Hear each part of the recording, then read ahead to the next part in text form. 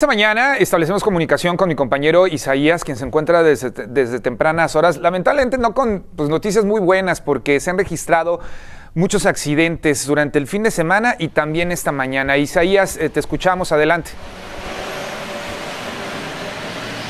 Hola, ¿qué tal? Pues bueno, muy buenos días, este Sergio. Pues nuevamente hay otro accidente aquí en lo que fuera la estructura de la caseta de peaje 045 de Fortín de las Flores. Desde muy temprano, pues bueno, un vehículo particular que circulaba a exceso de velocidad y también no respeta los límites de velocidad. Eso sí, hay que dejarlo muy claro, este Sergio, porque pues bueno, después del puente que están reparando Capufe, el puente de Metlac, le meten velocidad porque pues bueno, te tardas por lo menos una hora en tan solo en cruzar el puente de Metlac. Sin embargo, pues bueno, un vehículo de color negro particular, pues no respetó los límites de velocidad, por lo que volcó y dio varias vueltas y se estrelló en lo que era la estructura de caseta de peaje de esta eh, pues importante vía de comunicación que es la autopista 150 de Orizaba, Córdoba o quienes se dirigen para el puerto de Veracruz. Lamentablemente, pues la persona resultó lesionada, fue trasladada al hospital de aquí de la ciudad de Córdoba. Y vamos a ver el siguiente este accidente,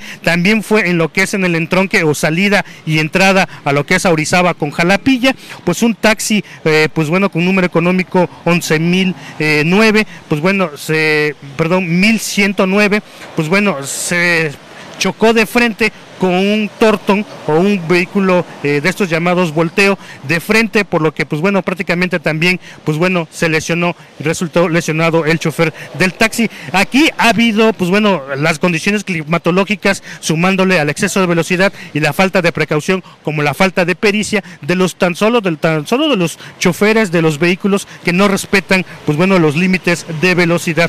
Sin embargo, pues bueno, aquí ha generado caos vial en esta importante arteria eh, de comunicación, tanto por los que ingresan de la autopista para la, para la ciudad de Orizaba o quienes se dirigen para el municipio de Rafael Delgado. Y vamos rápido para otro tercer accidente. Esto se registró en la ciudad de Orizaba, en lo que es en la avenida Cricri, donde este vehículo rojo, pues bueno, se reportó eh, el incendio en la parte de atrás, esto debido a un cortocircuito. Sin embargo, llegó bomberos, estación 119 y protección civil municipal de Orizaba. Por fortuna también no hubo personas lesionadas gracias a Dios. Sin embargo, las condiciones climatológicas, este Sergio y Pamela, aquí en la zona de las altas montañas, van a estar, pues bueno, las condiciones climatológicas un poco inestables, ya que, pues bueno, estamos ya aquí en lo que es un Fortín, no está lloviendo, sin embargo, en lo que es en las zonas de las cumbres de Maltrata, Alculcingo, lo que es Orizaba, Mendoza, Nogales, se encuentra una fuerte llovizna y también, muy importante, ya hay bancos de niebla